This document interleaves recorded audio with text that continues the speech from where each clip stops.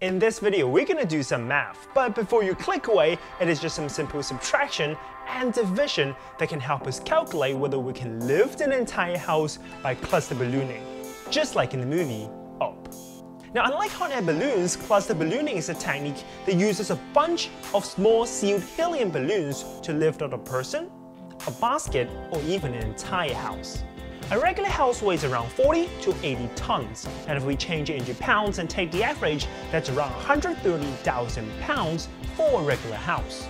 To know how many balloons do we need to lift the entire house, first we need to calculate how much helium gas do we need. Helium is lighter than air.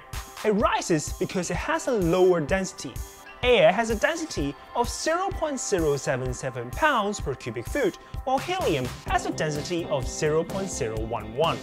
To know how heavy a cubic foot of helium can carry, we can simply subtract the two and obtain the number 0.066 pounds.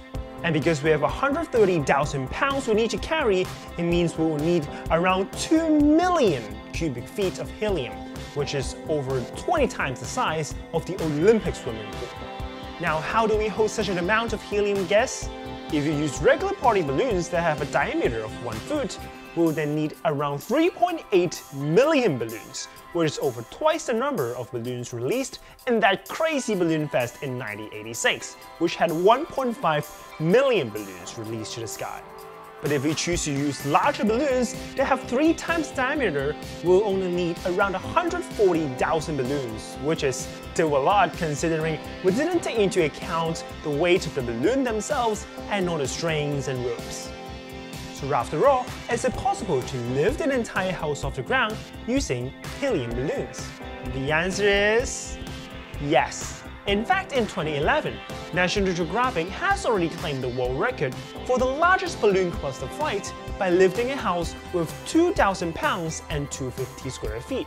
The house is small, so it only took 300 weather balloons, which are huge balloons designed for high altitude flight.